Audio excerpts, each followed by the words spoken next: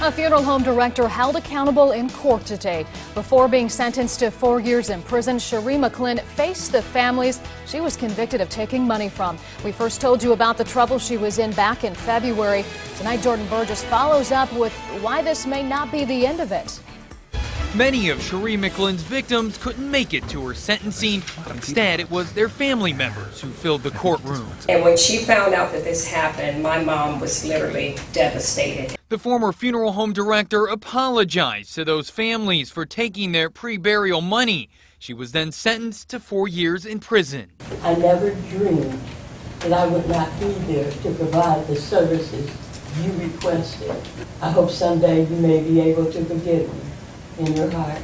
Prosecutors say in all, McLin stole more than $240,000 from more than 60 people who prepaid for funeral expenses at her Gettysburg Avenue funeral home before it went out of business. After serving four years in prison, she'll have to get a job and pay them back, or else she could face 19 years behind bars. We'll be more pleased once the restitution starts coming in and these families start getting back money that they had scrimped and saved over the years. McLin said the practice of taking the pre-burial funds started before she took over the family-run funeral home, indicating it was done by her father, C.J. McLin, and her sister, former Dayton Mayor Rhine McLin. But when we asked prosecutors about it, they said all evidence was presented to the grand jury, which only returned charges against Cherie. Beverly Combs told us her aunt paid $5,600 for a funeral she never got. She made the trip from Indianapolis to be in court.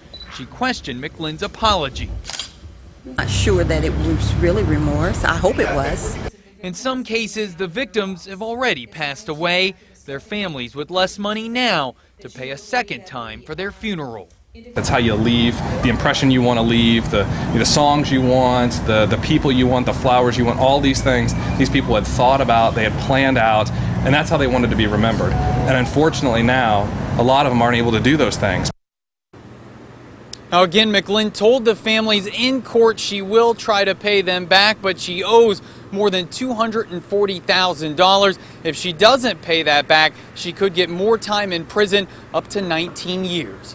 Reporting live, Jordan Burgess, 2 News, working for you.